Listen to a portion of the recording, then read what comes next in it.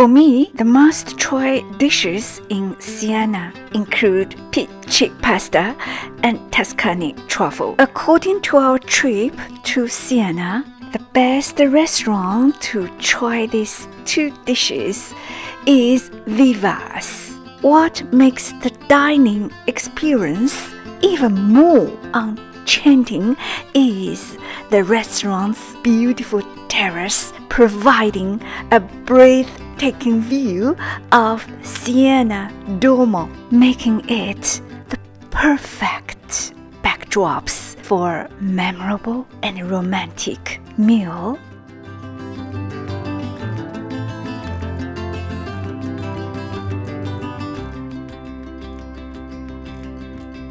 Also, the view of the Tuscan hills adorned with picturesque houses, olive trees, and a lovely botanic garden near the restaurant terrace enhances the dining experience with delight for the eyes, nose, and taste buds.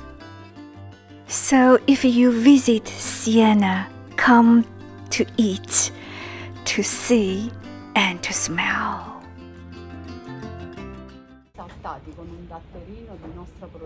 So interested because I heard that that's the most famous pasta. Pizza, um, Pizza, but funghi porcini, Pizza. mushrooms, cheese, and uh, uh, fresh truffle.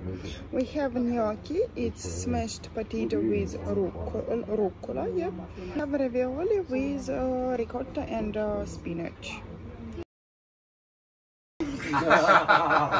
So I want to introduce you this sparkling water from Tuscany. Acqua frizzante. Salmon with dill, passion fruit. and passion fruit sauce. Its salmon is soaked in passion fruit sauce. Mm, put a little bit of salad on the top and just taste it. And this, that's pici, typical Siena pasta. Pici. Pici. This round shaped pasta, typical from Siena. Siena's pici. P I C I. Pici. Seems delicious. And my daughter, what does she order?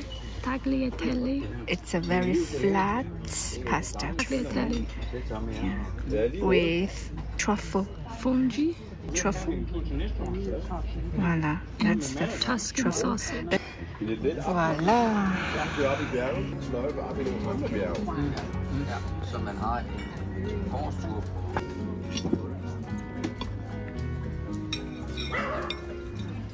Thank you for watching.